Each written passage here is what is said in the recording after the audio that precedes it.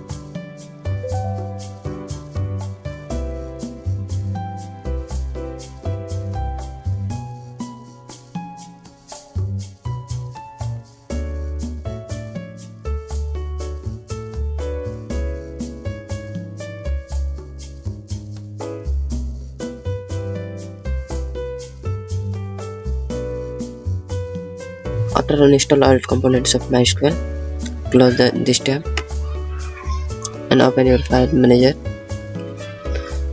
Then open your c drive. Or select your view menu and select your hidden items.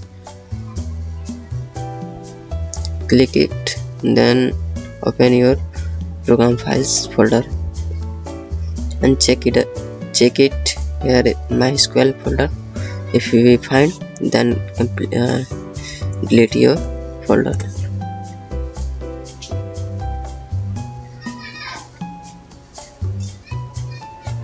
And recheck here no found any mysql folder.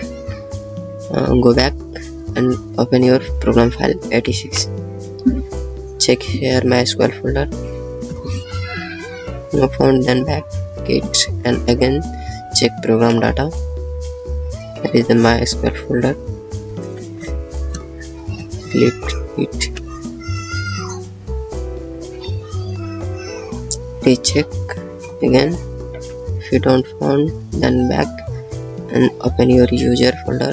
Select your folder and open your app data. Open your roaming folder and then find here mysql delete it